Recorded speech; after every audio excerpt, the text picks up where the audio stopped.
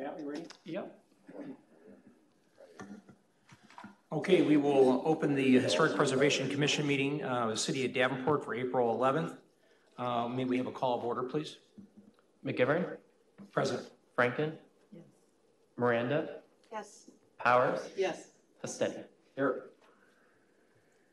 All right, we have a quorum, so it takes us to the section, uh, Secretary's report. We have consideration of the March 14th, 2023 meetings and minutes. Have a recommendation from the commission?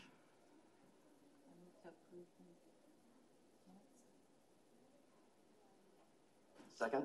I got a motion and a second to approve. All in favor? Aye. Opposed? And That's passed. Takes us to item number three, communications. Matt? Um, unfortunately, Commissioner uh, Higgins has stepped down, so we do have another vacancy. But we will have another commissioner that was, it's set for appointment on Wednesday, so we'll we'll only be down to six, but, yeah. So let us know if you have anybody, um, it can be male or female, uh, at this point, because we'll have three of, three males, three females. Thank you very much. All right, sorry to hear that. That takes us to uh, item number four, old business, case number C 0A23-10, request for exterior alteration at 714 Gaines Street. The Postal Rental House is a contributing building in the Hamburg Local Landmark Historic District. Mays is the petitioner. Matt? Okay, so the commission uh, reviewed this project at its March meeting. Uh, This is a homeowner that's received financing through the DREAM project. Uh, The house was built in 1895, currently has an asphalt roof with aluminum siding, wood windows, and a stone foundation. Uh, It's located on Gaines Street, uh, just north of 7th Street along the alley. So to recap, uh, the March 14th meeting, uh, The commission approved the installation of five new windows as they were presented. And then the commission uh, approved the replacement of the rear entry door, uh, subject to the following. That an alternative door uh, be selected by the petitioner that better resembled the design pattern or material of the existing door, and for that to be reviewed and approved by staff. So the last remaining item uh, for this application uh, pertains to the porch. So that was voted to be tabled on at the March 14th meeting. Uh, The purpose for that was to provide the applicant with additional time to select building materials and to clarify construction details. Uh, So to summarize the conversation at the March meeting, uh, the commission provided the following comments. Uh, They were supportive of the PVC column, porch columns if the massing scale, size, and visual appearance was consistent with the existing square columns of the porch. Uh, The commission was not opposed to the composite decking floorboards. However, a suggestion was made to select boards without the wood grain finish. Uh, The commission suggested floorboards be installed in the same orientation as the existing flooring. And then finally, the commission wanted further clarification on the material, style, and dimensions of the porch railings and balusters, and that, uh, to the greatest extent possible, select products that match the proportions and dimensions of the existing material. Um, So with that, uh, the applicant has selected, uh, or is continuing to select the composite decking with the floorboards to be installed in the same orientation as the existing porch flooring. Um, So on the right, you could see um, images of the current flooring. So the floorboards are perpendicular um, at the front of the house, and then it wraps around the side where they become parallel. Uh, So the applicant would use this evidence to install the new floorboards in that similar uh, layout. The porch column, uh, they've selected Craftsman Classic Square Non-Tapered Smooth Column with the standard capital and base. This was identified because it was a product that closely resembled the existing porch columns, which were square, um, non-tapered porch columns. So that image on the right is the uh, proposed design. And then the balusters, so on the left you have the existing baluster design as well as lattice. And then on the right is the proposed, it's called Radiance Rail Express Baluster Pack. They've selected a white design. So at last meeting, there were some questions whether they were going to do a metal railing design. They've selected this um, baluster pack because it does have that rectangular finish in white to kind of closely replicate, at least visually, uh, those existing balusters. Um, so here are some existings of the existing porch and its condition, so we can reference those for discussion. So based on the feedback provided by the commission at the March meeting, staff recommend approval of the certificate of appropriateness to reconstruct the front porch in accordance with the submitted material. Uh, staff reviewed the project for conformance with the historic preservation ordinance, and it generally meets uh, the following standards. Um, that reasonable effort should be made to make the minimum changes necessary to maintain the property in good state of repair, and that um, where the severity of deterioration requires replacement, the new feature matches the old in design, color, texture, and other visual qualities, and where possible, materials.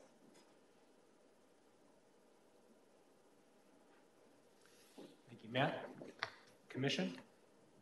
Questions? Yeah, I had one. Would you please put your mic on?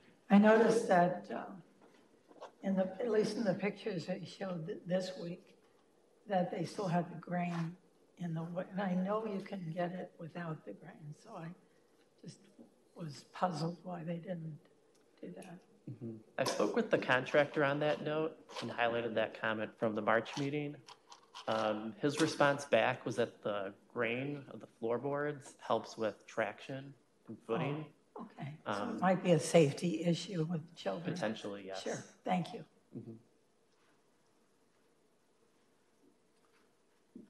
Anyone else from the commission? I need a recommendation, please. I would like to go ahead and move that we approve the certificate of appropriateness uh, to reconstruct the front porch in accordance with the submitted material. There's a motion and a second. Roll call, please. Franken? Yes. Miranda? Yes. Powers? Yes. Hastetti? Yes. McGivern? Yes. Thank you. Takes us to new business, number five. Uh, Case number COA 23-15, request for exterior alteration of 436 West 7th Street. The Alexander and Frederick uh, Tank Nickel House is a contributing uh, building in the Hamburg Local Landmark Historic District. Midwest Complete Construction is the petitioner. Matthew? Okay, so this is another applicant that has received uh, financing through the Dream Project.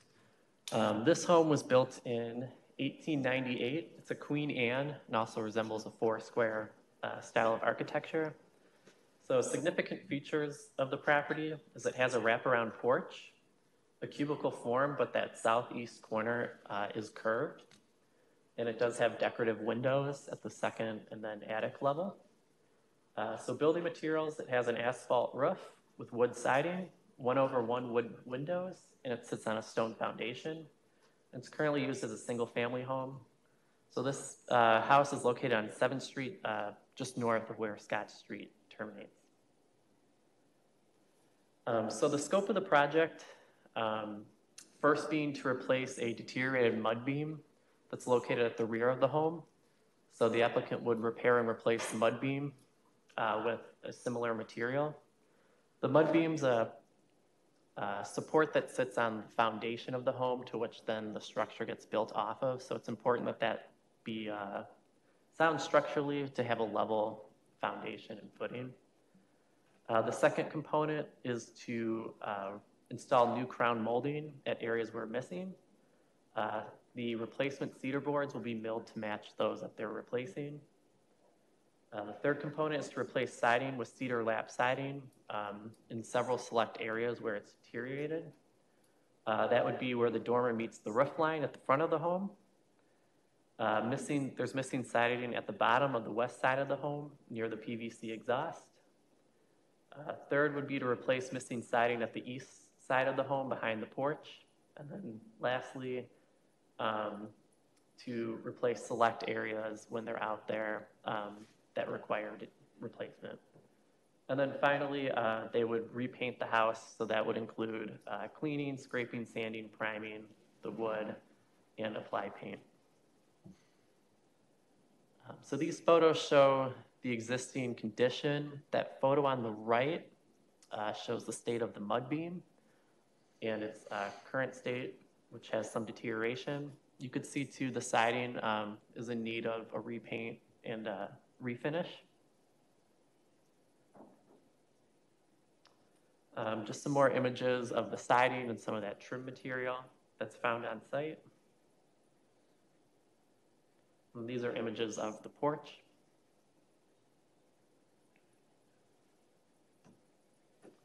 Um, So with that, staff is recommending approval uh, for exterior alteration as uh, proposed in the certificate of appropriateness.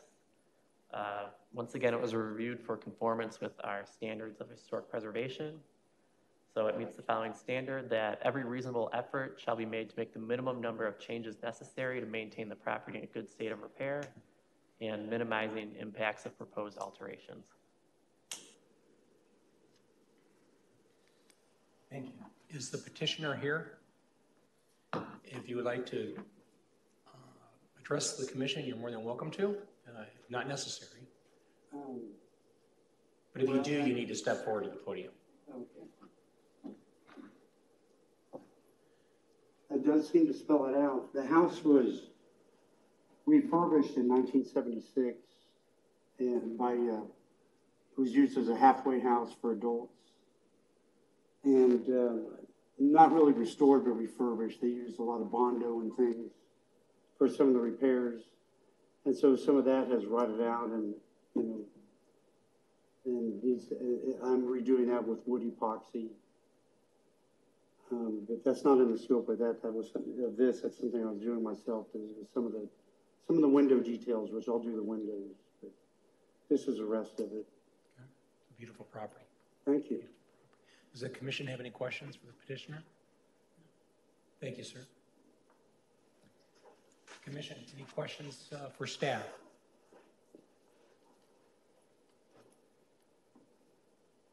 If none, I need a recommendation.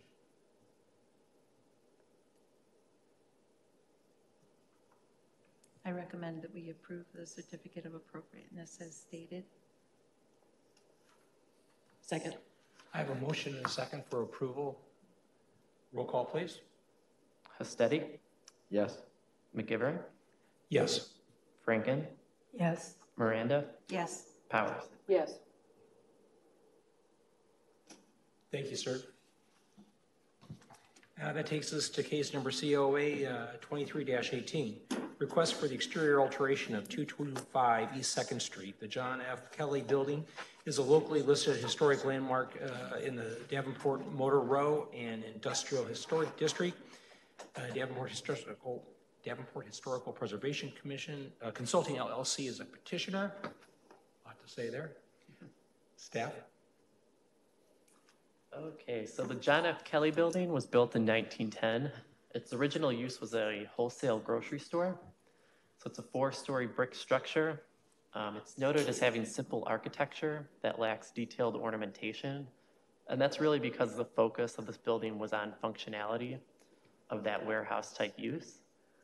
And its significance is that it's associated with the history of commerce in Davenport.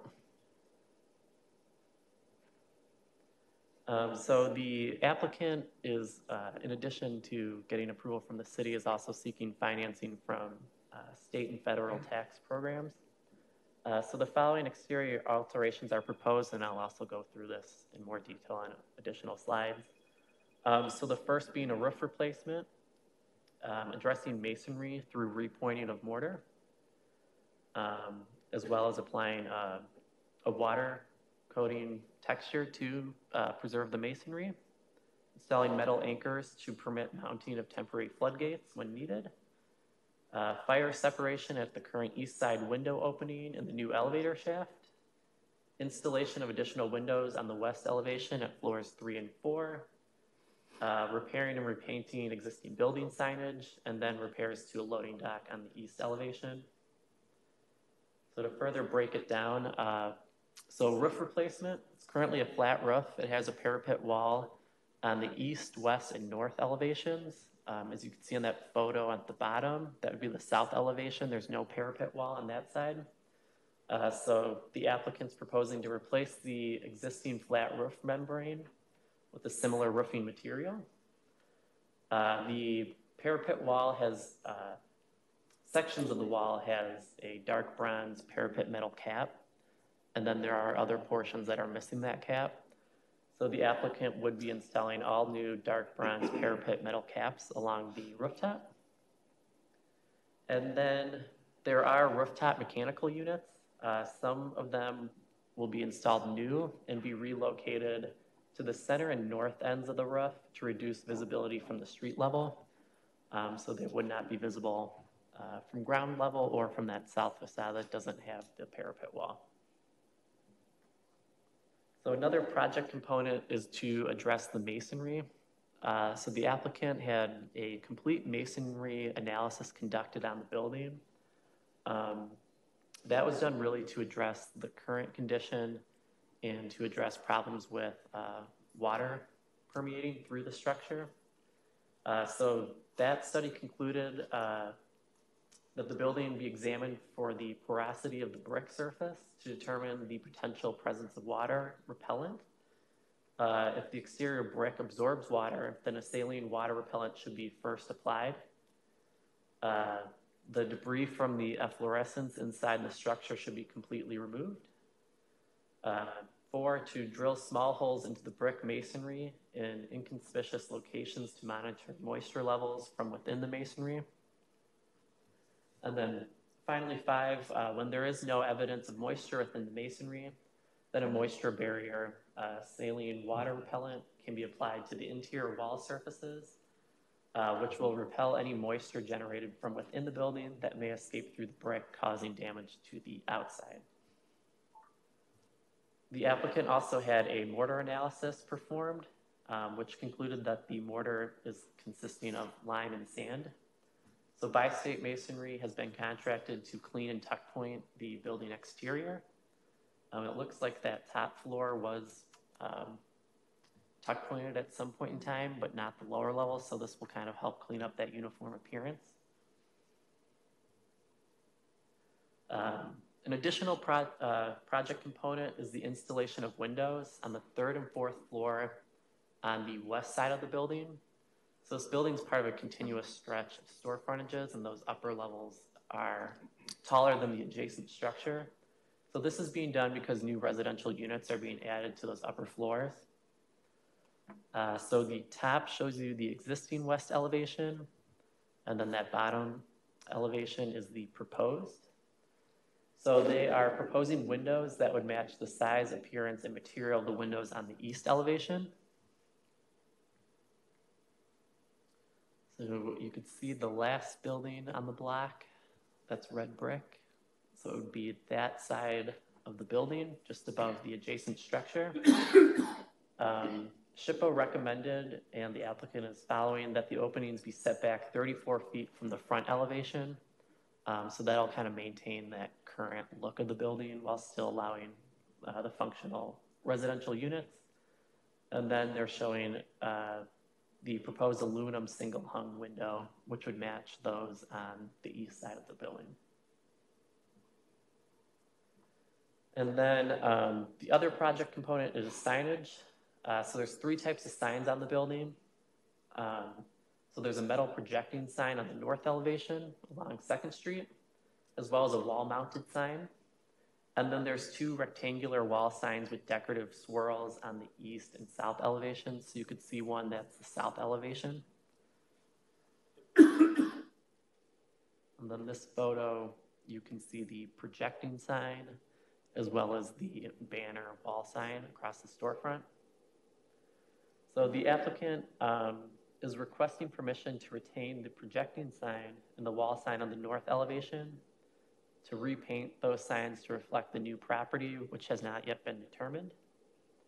And then the applicant is requesting an option to either retain or remove the wall signs on the east and south. Um, if they're retained, they would be repainted to reflect the new name of the building. Um, staff is recommending, just given the uncertainty of the signage at this time, uh, that that be submitted as a separate application if they're going to alter the signage in any manner that uh, changes the dimensions, material, illumination, or placement. Uh, So with that, um, a recommendation is made to approve the application um, in accordance with the submitted, submitted material subject to the following condition. And that is that any alteration to the existing signage that results in a change in placement, dimension, material, illumination, or other substantial modification requires submission of a separate application for review and approval by the commission. Um, So that condition basically states if they repaint or refurbish, they're fine, but if they're doing something beyond that, we should probably see it. And then uh, staff reviewed this for conformance with our preservation ordinance, uh, which met four standards. Um, First, just being that they're making a minimum number of changes to maintain the property in good state of repair by addressing some of those water and masonry issues. Um, Deteriorated architectural features should be repaired and replaced. And that um, new construction and new additions uh, do not destroy the historic material or design if it's compatible with the size, massing, scale, color, materials, and character of the property.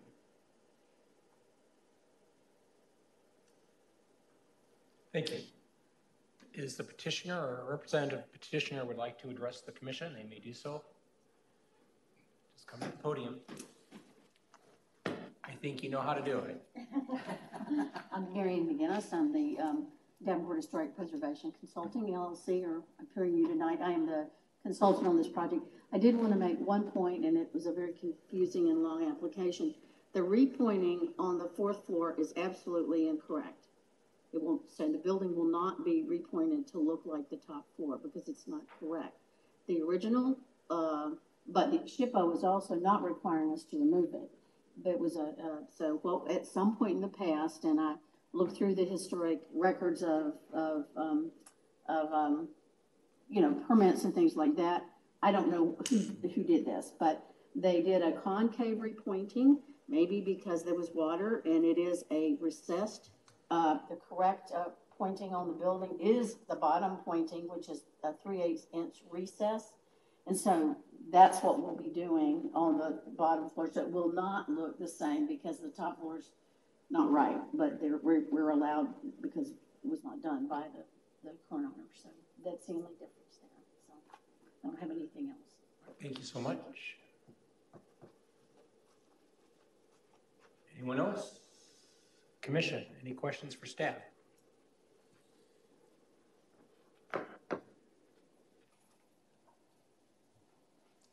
Then I'm going to need a recommendation.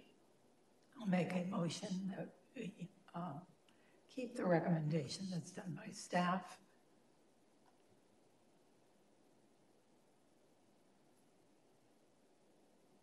Second. A motion and a second uh, to approve staff recommendation with the clarification that the signage is the second shot at the process, as I understand. Yeah. Okay. Any, Yes. we all good at what we're voting on?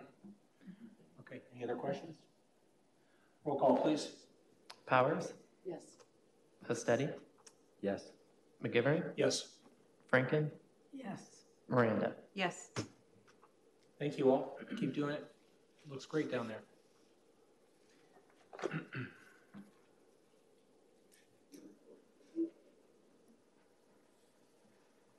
Okay, this takes us to other business, uh, number six. I just will say that, um, personally, you know that three of these items, I believe, should be on a work session. But, um, administration and staff wants us to go this way, and I think that's fine. But my, my preference on some of this long-term scope stuff is work sessions are the most appropriate place for it. But uh, that being said, um, we will go to uh, item number A, which is the Historic Preservation Commission training. So thanks for having me. I, I came to the last meeting and kind of sensed a little bit, um, there were some questions and some confusion, and hopefully this will clear up some of the issues on the work session versus a normal meeting as well. Nicole, would you introduce Oh, yourself? yeah, sure. please? Nicole Gleason. I am the Public Works Director and Assistant City Administrator um, for the City of Davenport. So, um, and- yep. So some of this, I'm just going to kind of fly through. This is um, basically a, a base presentation that we use to train a lot of boards and commissions. So it kind of starts at the beginning. And then going forward, as you do have new commissioners, Laura and Matt will be able to run through this with them so that when they start, everyone's kind of starting from the same base of information. So obviously, as you know, we're a mayor council form of government. So the meetings at the city council run similar to this, where the mayor presides but does not have a vote. Um, he does have veto power, and then he does have the authority for appointing um, boards and commissions. And um, as you may have noticed during the COVID emergency, he does have power to declare an emergency um, in the city, therefore triggering special actions in, in those times. And then the council um, is a majority quorum. There, so six of the 10 have to be present to vote. Um, and then anytime six of them are going to be together, it needs to be a posted public meeting. Um, and they can only act by motion, resolution, or ordinance and make all the policy decisions. So they set the policy level for staff to kind of administer the budget. Um, and that budget was just on our last city council meeting.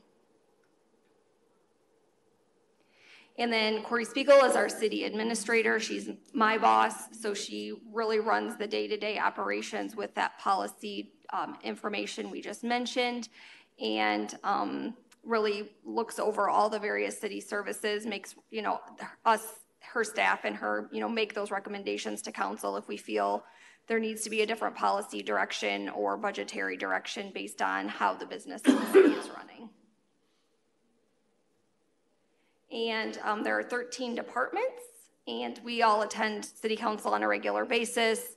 We hope every Wednesday is city council, two Tuesdays a month, we do a management, it's called a management mayor council update. And then occasionally there are work sessions. Again, those are posted to the public in public meetings. Um, but the, during those meetings, public is not allowed to comment. And then we obviously have the majority of that citizen contact as a staff. So from a legal and ethical issue, the state of Iowa has a very strict law on gifts. So this applies to city council members, commissioners, and staff. So um, it's $2.99. No one's allowed to accept anything that would be considered greater than $2.99. So basically, like you can take a pen, I guess. Um, if you're ever not sure, you can ask the legal department, um, or if you feel like something's happened where it, it feels you're like you're in a gray area, um, never never hesitate to, to reach out to Laura or our legal department with questions. Uh, conflicts of interest. So this includes commissioners as well. If you have a job or interest that's in direct conflict or provides a monetary service to the city, um, we're no longer able to have you as a commissioner. So just you have to make sure that if you do end up thinking you may would have a conflict of interest, just to disclose that and let legal know. Um, I do believe we can do up to like three thousand dollars a year worth of business or something like that. It's pretty de minimis, um, but anything it still has to be disclosed. But then anything beyond that would potentially um, restrict a membership on a commission. So um, I guess I kind of already said that, but if you do have questions on that, we do have uh, a city's uh, standard operating procedure, or we can ask legal as well. And then an open meetings law is the gathering, so basically what we're doing here. So anytime, um, if your commission is seven, anytime four or more of you are together and intending to talk about anything related to historic preservation, um, that does have to be posted within 24 hours and available to the public. And um, obviously, if if you don't have a quorum and you do have a meeting where something needs to be voted on, the meeting would have to be canceled. You wouldn't be able to do any voting related business without uh, four members present. And then the only time you can have a closed session is if it's related to litigation. Um, so if it's like an attorney client privilege. So for whatever reason, if the commission was going to be sued, which I can't imagine that happening, that would be the only really time you'd be able to have a closed session that's not recorded. Um, so if you do have a question about that, I think if that case ever happened, obviously legal would be proactively reaching out to you guys. Um, and to have a closed session, so in city council meetings, if they are going to discuss litigation, they have to take a roll call. Um, and then Tom Warner, the city attorney, still has to keep minutes. Um, they, that meeting doesn't have to be recorded, but minutes, like a time of commencement, a time of adjournment, all of that still needs to be taking place. And if there is a closed session that's inappropriate, um, the city and the commission could be fined, um, and my understanding is fined individually. So a work session is generally um, a purpose of focusing on a single topic. For city council, because those meetings tend to be kind of long, they generally hold them on a different day. So think of our budget work sessions maybe on a Saturday. Um, if they know they're going to have a short meeting, we have had a work session during a normal, um, like Tuesday management update before. Um, so that's kind of, I guess, if you want a work session on a different day, I guess you guys could, you'd probably have to work amongst yourself and staff to make sure that the room's available, the recording materials available, all of that, because it's still subject to the same rules and posting guidelines.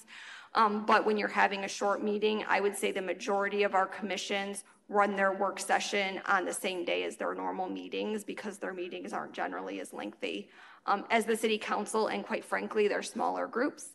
So with city council with 11 people, um, those meetings tend to get a little bit longer than we have with some of our smaller commissions. Um, so it's still subject to the same open meetings laws and required to have the 24 hour posting. Um, and then in your current bylaws, it, it does state that it's specifically for demolition, but it's not really how it's commonly used. Um, and per my conversations with Laura and Matt, you guys are talking about suggestions for bylaw updates, and, and that's one of the things we would look at modifying. And then the purpose of other business would potentially be something where you want to discuss it in this open meeting format, but it's not quite prepared for a vote yet. Um, so, you know, I, I think you guys have had different uh, presenters or different people who've had questions, but they're not quite ready to fill out their application. So that, all that's perfectly fine, um, how you've been running it for your other business. And is that the last one? Oh, okay. And then, um, so this is open records laws. So I don't know if you're all uh, familiar with the term FOIA, that's Freedom of Information Act. So anytime um, you're doing commission business, if someone were to submit a FOIA to the city of Davenport, um, you would be subject to those same rules of disclosing emails, um, any meeting records, things like that in relation to that uh, FOIA request. So um, your bylaws are really kind of what you have a little bit more control over. So it's kind of how you guys function administratively. Your current version is still perfectly fine. We do understand that the zoning updates did cause reference errors. However, um, that's really looked at by our city legal as a Scrivener error. Um, Laura's been noting those as we've encountered them. Your bylaws are still fine as they stand, but obviously, once you do take action to update your bylaws, we would run um, all of those kind of Scrivener error updates through council as well to make sure that everything's ticked and tied and accurate as whatever at whatever time you guys make those revisions.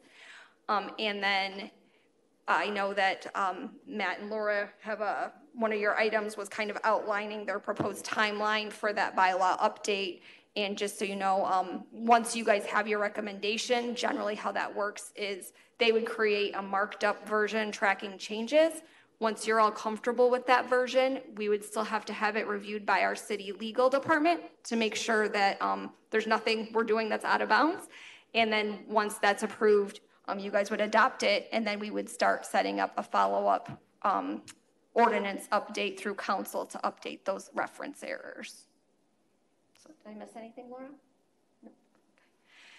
Okay. And then um, uh, I also attend every month the Civil Service Commission, and, and these seem to be similar to the elections. So they, every year, usually in their first meeting of January, they, they basically kind of draw straws, I guess, um, and, and say who does or doesn't want to be eligible, and then they, they basically make a motion and an aye um, to elect um, an annual officer. So if, as you guys give your feedback to, to Laura and Matt on how you want to do that for your co- commission, I would say it's generally a very informal process from what I've seen in all of the other commissions. Okay. So I, I wanted to go through that fast because I didn't, I know most of that is probably not new information to you, but I'm happy to take any questions that you have. Okay, um, and Tricia, is Nicole or Ms. Gleason? Nicole's perfectly fine, Thank you, yes. Nicole. So Nicole, on the, the, just the brief of city government, and we've had this before, new commissioners, it's always good to have. The, um, in regards to the, um, the, uh, the uh, work sessions and how they're right now, they're kind of tailored for demolition, but that's not always been the way they've been used. This is a working commission, um, and it's a commission that's continually learning. New members come. There's always new issues, just like with Des Moines that came through. My concern, as we modify the bylaws, is that we have a forum, recorded or whatever, away from the structured people's business, which was just before us, where we can be in a more comfortable setting and learn. It's hard to learn up here. You know, when you're on the city council, you have a great deal of lead time on issues. You have a great deal of administration and staffing that gives you the information before, was my experience. Here, it's a working group, and we kind of work together over the issues. And the main setting of the meeting itself isn't always structured for that. And that's mm, when we deal with these bylaws, it's, I want to make sure that we don't lose the flavor of the learning part of a work session because it, it's helpful for the future commission members because we are a, a working group. And, and if it's not this group, if it design and review, whatever the future of historic preservation may be, um, yeah, I think we do need that venue. May not be like city council, but still legal with open meetings where we can work through issues so we can serve the public. Does that make sense? It does, and I would say that a lot of times, if you've come to city council meetings, when they're in a work session format, they will actually all move to the table. So they're more in that kind of round, like, like you said, more of a meeting style, which is perfectly fine. Or if you think this venue isn't appropriate, we've held um, work session type meetings at the libraries, um, places like that, which is, was also perfectly fine.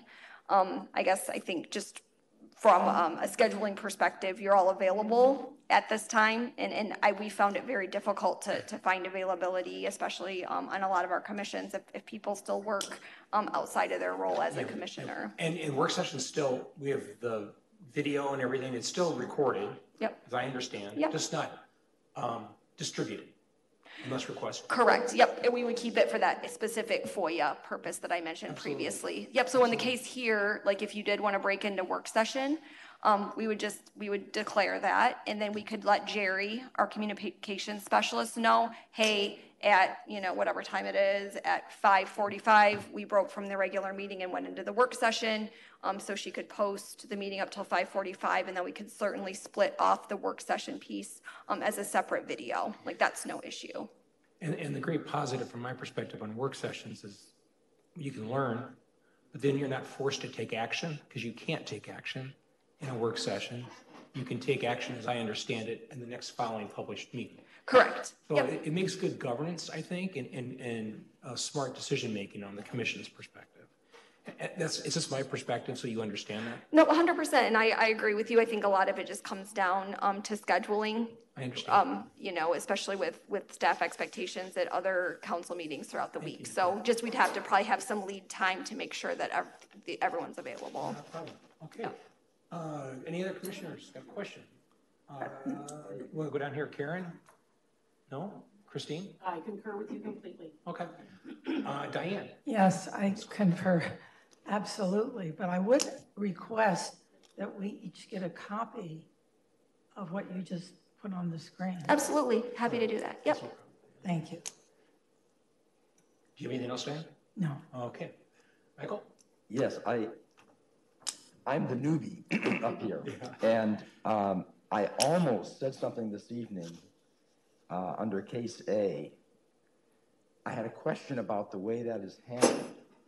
Clearly, everything is appropriate, but it seemed to me from the description that, that uh, Matt gave us they weren't really substantively changing that house at all. In fact, they are maintaining that house, they are restoring that house.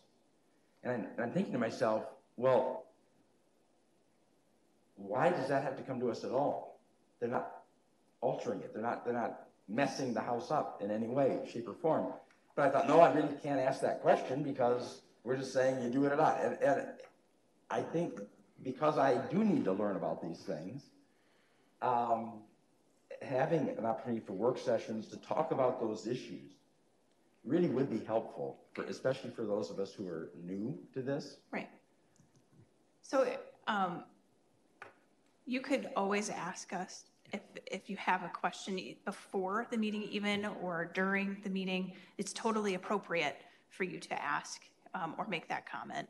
Um, I, I do want to be cognizant of making sure we're, we're not delaying actions. I, I know that we, uh, to a certain extent, it's been brought up about being business friendly and proactive as well. So um, I just want to be cognizant of that. We don't drag things out too long and um, and, and doing uh, too many work sessions. We only do meet once a month, Right. so it's something that we need to be sensitive to.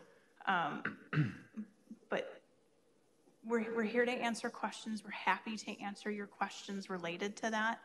Um, the reason that I will answer your question now. The re- reason it's brought to you is because according to the code, um, when an item's changed material, so it's the physical material in addition to it, it's triggered. So if it requires a building permit, it comes to you. We don't have anything in our code at this time that does any kind of administrative approvals. So that's why they do come to you.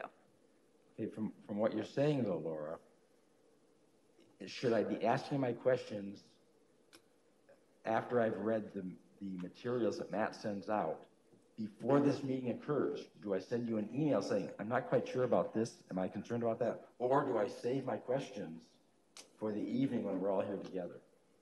So I would say, um, as a new commissioner, if you want to directly email Matt and he can reply, that's fine. Um, the only thing I would caution you against is you ca- you can't copy all the commissioners because then it becomes an open meetings violation because you're basically meeting via email.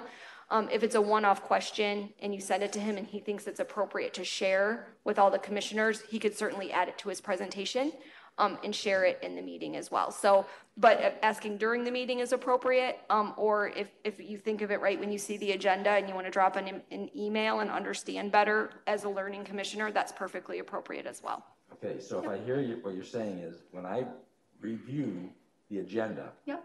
if I have questions, I can shoot them to Matt, just Matt.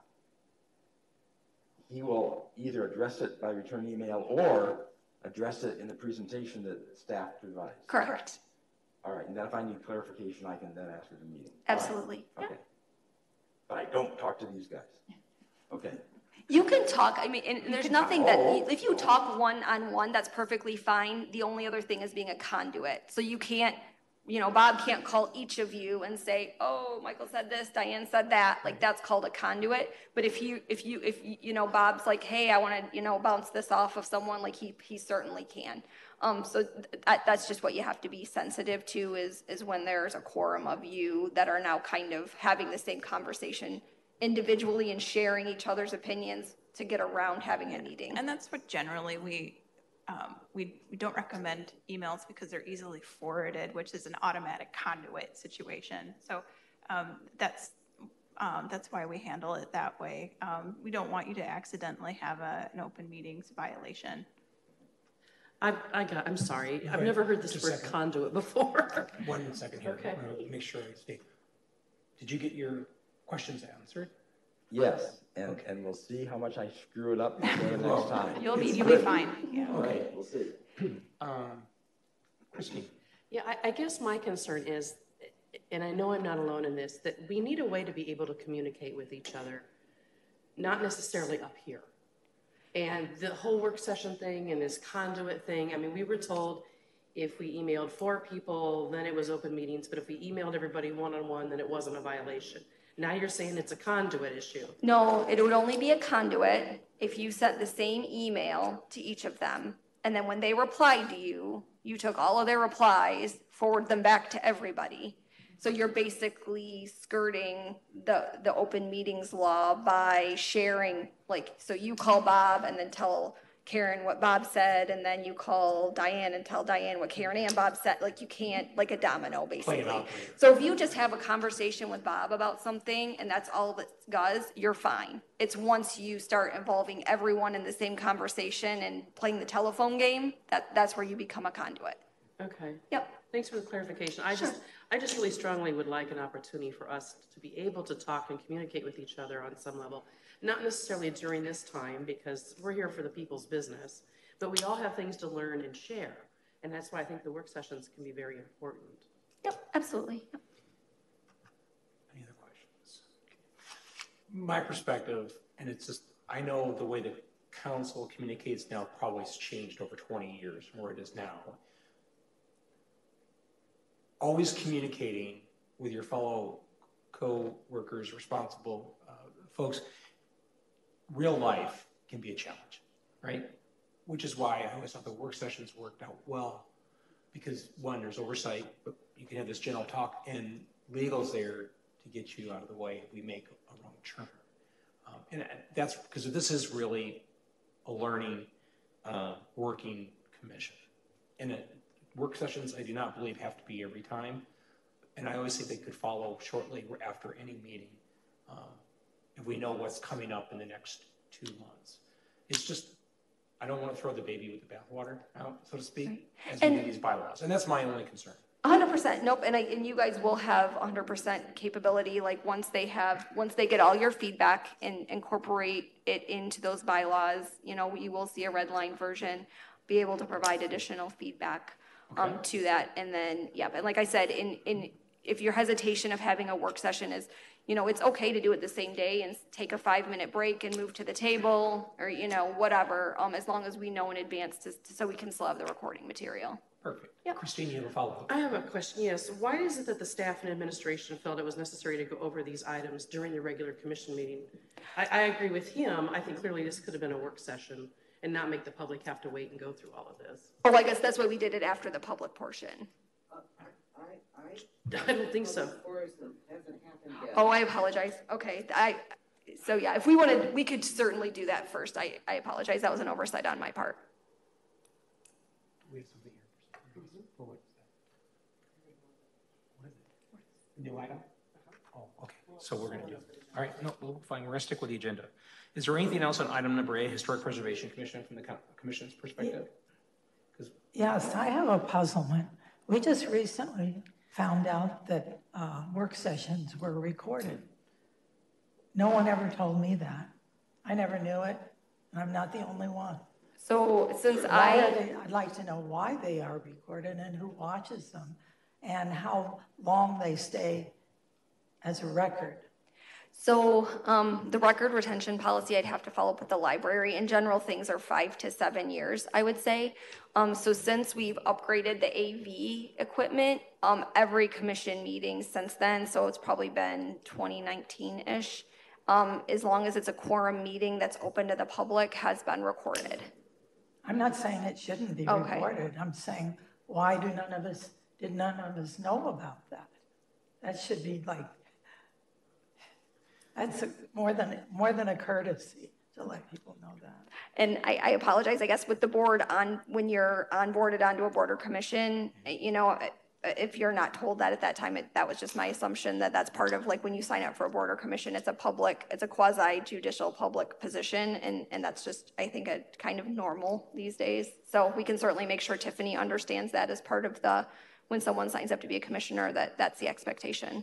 But it's also, um, the fact has surfaced that as far as preparation for a new uh, council person, commissioner, there, there really hasn't been orientation. Correct, and that's kind That's, of, that's incorrect, Oh, actually. We do an orientation for all the new commissioners. I'm speaking for myself, Laura. Okay. When I came on board, there was nothing, t- no preparation at all. You just sat there and you listened and you opened your ears and you noted the, the, the way the procedure was. But I, and I'm not alone. But you've been on the commissions for how many years? forever. Diane? Right, I know, and so I know that part of Corri's endeavor, I know it as, has been kind of, you know, with, with, you know, Matt and Laura and with, with the other commissioners, is making sure when we do get a new member, that they at least get a basic orientation, um, and then as we get new tools such as this to include with that orientation, um, certainly can share those reading materials as well. That's wonderful. You know, one of the things that I think it- I would advise you all to think about is uh, the commission has turned over quite regularly. And part of that is not knowing and wanting to be doing it the way it's supposed to be done. And people were just not, they were learning from each other. So it's, it's a long-term, there long, there were long-term effects from that with people. And that's why we thought it was worthwhile to Oh, do this presentation, I so. only wish it had Okay. come quite a while ago. Um, Does this uh, cover the, any questions from the commission on the Historic Preservation Commission training oversight? All right, and we've touched on the other ones, but I'm going to go down the line here. Item number B, which is the timeline for updating the commission bylaws.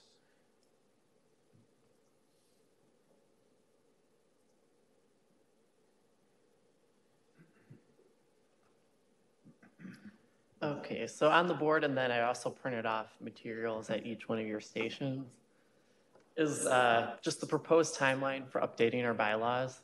Uh, So at this meeting, we've distributed our bylaws that are existing. Uh, So now everyone has the bylaws and the relevant code sections. So over the course of between this meeting and our June meeting, staff is going to make edits, find all those code sections that are not referenced, and address some of those issues. So that way, at our June meeting, we'll provide a draft copy um, that we'll also review with the legal department for the commission uh, to review, provide comments, and submit uh, recommendations. Uh, Those can be further revised by staff and reviewed with the legal department for a potential vote at our July meeting. Um, If more edits are warranted, are uh, deemed necessary by the commission, uh, We'll continue to make those edits and review them until we have a set of bylaws that the commission is happy with. And it's my complete understanding that it's the commission that recommends to the council the approval of the bylaws, or how's that? Council never sees your bylaws, It's just so us. it's just you. Okay. Right, the, the reference to council was once your bylaws are updated, making sure all the references in the zoning code are accurate. And I think we all agree in this room, it's all of our responsibilities is to have the best bylaws possible. Perfect. Is there anyone from the commission? I'm going to start right down and I'm just going to keep going, but I'll start with Michael and go this way. Michael, do you have any questions on this item for staff? No, this is good. Glad to see this happening. Very good. Diane? No? Christine?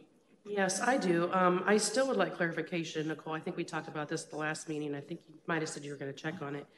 Is whether the chapter, uh, I believe it's seventeen twenty-three oh five oh, is, is it removed? Is it not removed about the power of the, and duty of the commission to adopt its own administrative procedural guidelines?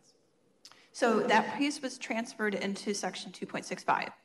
So the administrative and procedural guidelines is found as number A under that section of, of powers. And, uh, So, so do we have our powers to set our own procedures then, or I'm still not clear? I, I'm, I'm not sure I understand. So I think Brian Krupp confirmed that that 2.65 is basically the same as what it was before. It's just a reference error from the zoning code update. So that's what we'll follow on to fix once you adopt your new In, bylaws. in front of you. Thank you. Matt did p- provide the old code sections for your reference. So the, the powers and duties, so seventeen twenty-three point uh, zero five zero was transferred over to um, section, or chapter two point six five in the city code. Right here, yep. It's the second page of the, of the old one. Thank you. Do you have a question more on that? Karen? Okay. Let me stay organized here.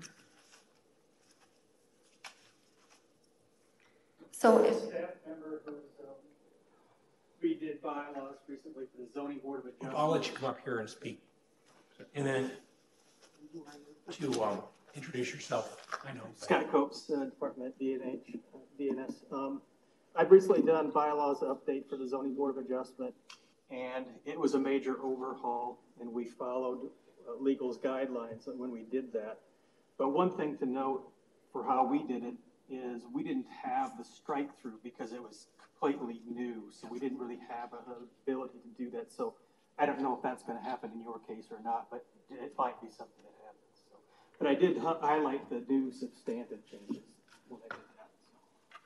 Thank you so much. All right. Again, we kind of gone over this a little bit. This is item number C, work session, election procedures and bylaws. And I was just gonna mention, if, if you, as a, um, commission would like to substitute your open forum first, so that your guests can leave, you're welcome to do that, um, at this time. That, that's up to you, though. And we're just going to finish this up. Okay. Um, so work session, election procedures and bylaws, If we just want to summarize, or is there, we kind of already covered it, I think. Oh, I guess I did, I didn't know if you actually wanted to break into a work session at this meeting, or if you wanted to wait and schedule that at a future time. I'm going to jump in here. Is that, is that appropriate? Um, I passed out a sheet at the last meeting. I was planning to have a work session, which did not happen. But I went ahead and pla- passed it out just with some ideas and recommendations that I had on the election. And I just hope that the commissioners had a chance to look it over and at some point, maybe we can say yay or nay, or I would like to make a motion on it at some point, but I'd like to be able to hear from everyone, you know, what they're thinking about it. I don't know that this is the right time to do it. I I don't thought- think it Again, is. I thought we were having a work session, so I'm just confused. So, so when Matt put this on the agenda, that was the intent. That is, if you wanted to break into work session today, we could do that. But if you prefer not to, um, we could certainly send out a doodle poll with some questions on times and set up a specific work session date. I would, I guess, leave that up to you and be respectful of your time and what you want to do. I can go into work session, I don't care. I don't care. I mean, Let's go ahead and just, we'll do the work session after this real quick. Okay. Is that fair? We'll spend 10 minutes after this on this item. Yeah, yeah, if you want to go ahead and finish out the agenda, Yep, we very can good. close that we'll and then, skip over yep, that's to, uh, perfectly Is that fine. okay with the Yep. commission? Perfect, all right. This takes us to item number D, 2023 Quad Cities Henry Farnam Dinner. And I know this came from, I believe, Michael. Um, So Michael, is there anything you want to add to this, or we kind of threw this up, as I recall? Is there anything from staff first on this? Um, no, just that Michael brought to uh, our attention the Quad Cities Henry Farnam Dinner, um, which is uh, up on the screen. So it's Thursday, April 20th uh, at Bally's Casino and Hotel in Rock Island. Uh, they do have opportunities for organizations to set up a table to present, um, I think, just information. Uh, so, know, Michael, if there's anything that you would like to add, if this commission wanted to do a table, if you just want to attend. Um, Yes, I, I wasn't, I wasn't, um, of course, everyone is welcome, right? But, but when I heard that we were gonna have these tables, information tables, and they're free, I thought, hey, maybe the commission, if, if we've done this in the past for, for public information, and Diane had mentioned that we do some initiatives, we had done educational initiatives, I thought, well, I'll bring it up to us. I, I wasn't in any way trying to, um, corral us into something that we wouldn't normally be doing, but I thought, well, this was an opportunity. And if we miss it this year, there will be a dinner again next year. So, you know, that's all I was getting. Any other commissioners have any uh, thoughts on this? What I would suggest is, uh, you've, I've always pushed action. I think action with the commission and out in the public is a good thing. I don't know if I will be attending the dinner or not, but let's see if we can get two volunteers from the commission that would like to do this, and if so, I will help with staff and the resources to make sure that we have this done, and if not, then we'll look at next year. Okay?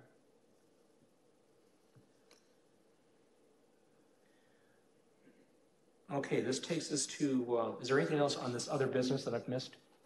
Commissioner? All right, this takes us to open forum for comment.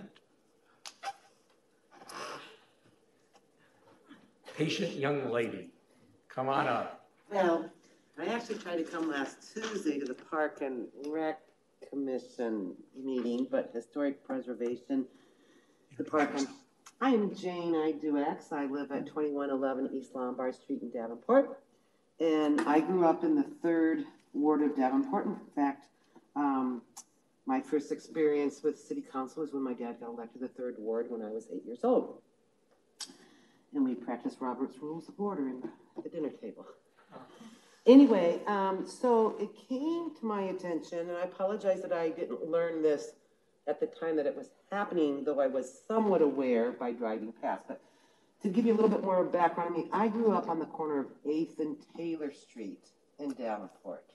Um, my parents moved there in the mid 1950s and lived there until about 1996, 97. That basically is one and a half blocks, a very long block, down the hill from what I grew up calling Lookout Park. It's part of the historic preservation. Um, it's now on the National Historic Preservation. At the time I was growing up, it, it wasn't, but it was the park that we walked up the hill to and picnicked on the wall. It was the park that we walked up the hill to and rode down the grass and hung out underneath what they called the bicentennial tree and pretend it was our little horses because the roots stuck out of the ground.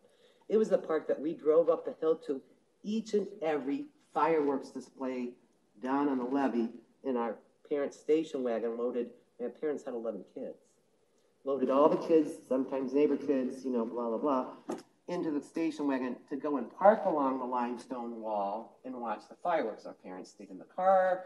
You know, I had a handicapped sister that often stayed in the car. We sat on the wall, the, the, the hillside, waiting for the fireworks display to happen. No longer can do that. And I grew up down the hill from that park before the house on the corner of Washington and Clay was built. The Bishop of Davenport still lived directly across the street from the park when I grew up. Um, was that because I'm Catholic and blah blah blah. We, my school in fourth grade, our nun, we went. My teacher, we walked up to that park three blocks from St. Mary's Catholic School and Church on Sixth and Fillmore. You know, up the big long Fillmore Street Hill, um, and so the house that's on the corner, right across the street from the entrance of the park, on the west side leading into Marycrest College, you know, um, that house wasn't there. I, I, don't know what year it was built. I, would be happy to do the research, though I'm sure that you guys could do it easier. Also, I don't believe that who had it built is the current owner. Now, I happen to, to follow this fellow down Washington Street, uh, that his driveway on at the corner there. And I followed him into his driveway and I got out and said, Hey, can I talk to you about the park across the street? He said, Sure. And I said, um, What do you think about, you know, the park being, interest is being closed off? He says, Oh, I love it. I said, Oh, I'm really disappointed because everything I just said to you. And I said, So if I wanted to bring my family over to watch the fireworks, where are we supposed to park? Your driveway? Of course, he said no. And then he said, We have nothing further to talk about. I can't change your mind. You can't change mine. But he bought that house knowing full well that he lived across the street from a historical park, a park that's been here since the 1800s. Is that correct? And if it's not going to be used for the purpose that the original people bought that land, donated that land to the city of Davenport, and honor the historic preservation of that park or anything, tear the damn sign down.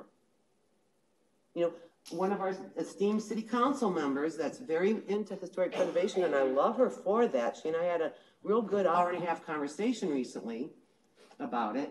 She's the third ward city councilman.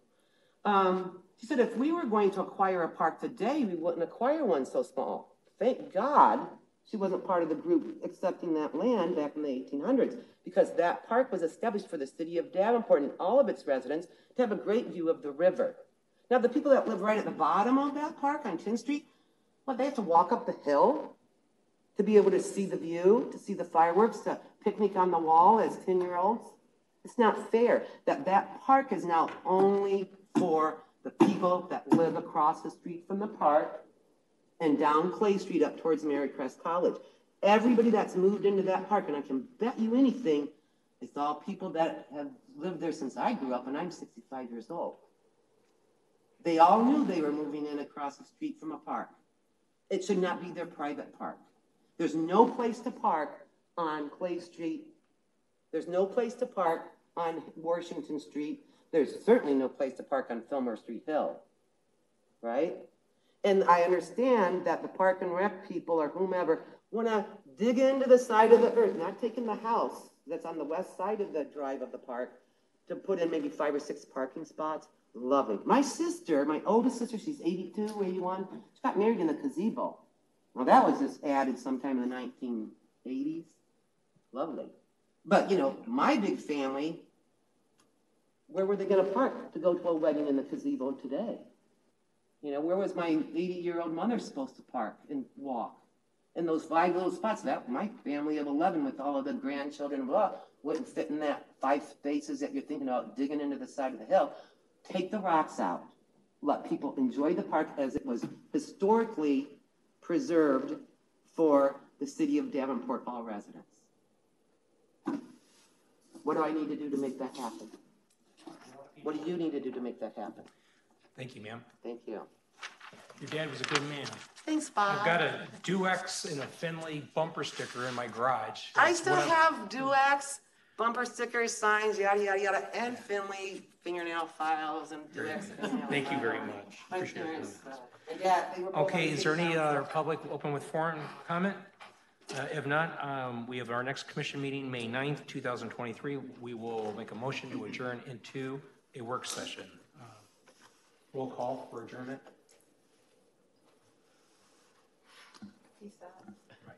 Franken, Yes. Miranda, Yes. Powers, Yes. Steady, Yes? McGivern. Yes. Okay, let's go down there and take a chill pill. You need a break? No, I, I just.